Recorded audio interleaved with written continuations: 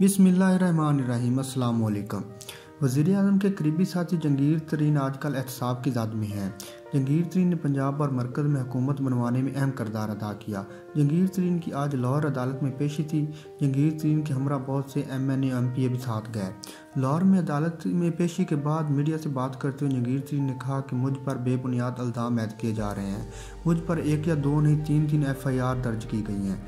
एक साल से इंक्वायरी चल रही है। मैं खामोश बैठा हूँ। मुल्क की अस्सी शुगर मिलों में से उन्हें सिर्फ़ जंगीर तरीन ही नज़र आया।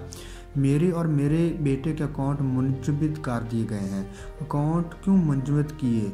इससे क्या फ़ायदा हो रहा है? और ये कौन कर रहा है? पूछता हूँ, आखिर इंतकामी कार्रवाई क्यों हो रही है? वजह क्या है? कौन लोग हैं जिन्होंने मुझे खान साहब से दूर कर दिया है?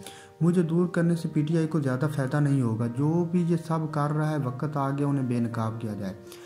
आसफ अली जरदारी के हवाले से पूछे गए सवाल पर जंगीर ने कहा कि पीटीआई से रहें जुदाई नहीं हुई। दस साल से पार्टी का हिस्सा हूँ। मैं तो दोस्त था, दुश्मनी के तरफ़ क्यों धकेल रहे हो? मेरी वफादारी का इम्तहान लिया जा रहा है। जुल्म बढ़ता जा रहा है। हम तरीके इंसाफ से इंसाफ मांग रहे हैं। दूसरी जानब F I F I A banking court ने जंगीर तरीन अली तरीन की जमानत में दस अप्रैल तक तोसी कर दी है। अदालत पेशी के दौरान जंगीर तरीन अली तरीन के हमरा बहुत से पी टी आई के अरकान साथ थे। तो मामला कुछ इस तरह से हैं कि जंगीर तरीन के हवाले से मीडिया पर खबरें चल रही हैं कि जंगीर तरीन की पीपल पार्टी के एक अहम रहनमा से मुलाकात हुई है और आइंदा चाँद रोज में वो आसफ अली जरदारी से मुलाकात करेंगे। अगर वो पीपल पार्टी में शमूलियत इख्तियार करते हैं तो इमरान खान की पंजाब और मरकज़ हुकूमत ख़त्म हो जाएगी।